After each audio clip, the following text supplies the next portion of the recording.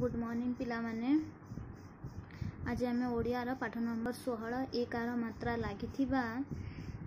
ତିନି ଅକ୍ଷର ବିଶିଷ୍ଟ ଶବ୍ଦ ପଢ଼ିବା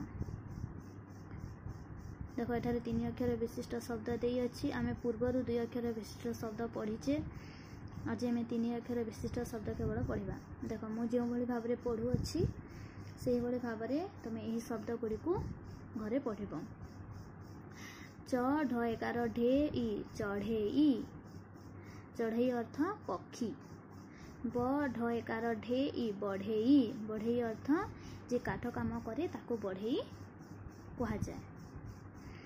दन्ते स उकार सु र एकार एकारे ताडव्य स सुरेश सुरेश हेर्छ गोटे पिलार नाम नाम ग ଣ ଏକାରଣେ ଗଣେ ତାଳବ୍ୟସ ଗଣେଶ ଗଣେଶ ଗଣେଶ ଭଗବାନ କ ଏକାର କେ ତାଳବ୍ୟସ କେଶ ର କେଶର କେଶର ଅର୍ଥ ଯେଉଁ ଅଣ୍ଡାର ଯେଉଁ କେଶର ଥାଏ ତାକୁ କେଶର କୁହାଯାଏ ବ ଏକାର ବେ ତାଳବ୍ୟସ ର ବେଶର ବେଶର ଅର୍ଥ ଗୋଟେ ଖାଦ୍ୟ ବେଶର କରନ୍ତି ମାଆ ମାନେ ବେଶର ରାନ୍ଧନ୍ତି ବେଶର ହେଉଛି ଗୋଟେ ଖାଦ୍ୟ ପଦାର୍ଥ अ तावबव्य सार से असे मुधन्य स अशेष म कति नशेष अशेष अशेष धन्यवाद तिन सही अर्थले अशेष व्यवहार ब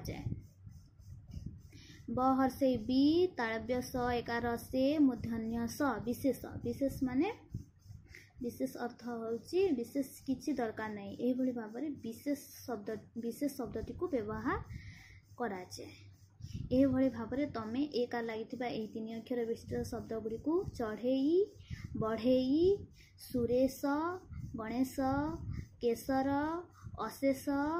ବେସର ଏବଂ ବିଶେଷ ଏହି ଶବ୍ଦ ଗୁଡ଼ିକୁ ପଢ଼ିବ ଏବଂ ନିଜ ନିଜ କପିରେ ଏହାକୁ ବହିରୁ ଦେଖି ଦେଖି ଲେଖିବ